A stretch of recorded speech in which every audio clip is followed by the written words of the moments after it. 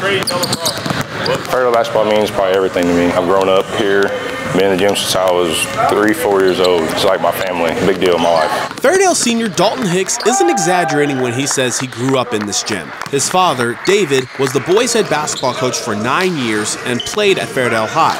Now he's the athletic director. As a father, I've been blessed because being in this profession and doing this for so long, I never made him train. I never made him go to the gym. He did that on his own. Last several years when I was coaching him, he would ask to stay over, get extra shots up. And those extra shots have paid off. I feel more proud of myself is seeing all them names up there, and then I'm right there with them. Seeing the names on the wall every day, it just means a lot to me to be in the same conversation, I guess, with them. Hicks has scored more points than a lot of the names on this wall. In fact, he's one of only three boys basketball players to score more than 2,000 career points, crossing that 2,000 point milestone while wearing his dad's number.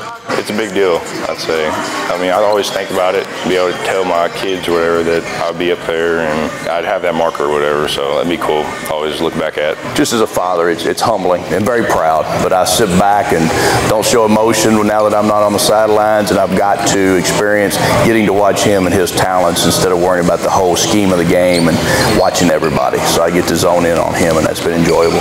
I'm a proud father either way, proud coach, proud athletic director, and just proud of this basketball team and this program, what they're doing right now.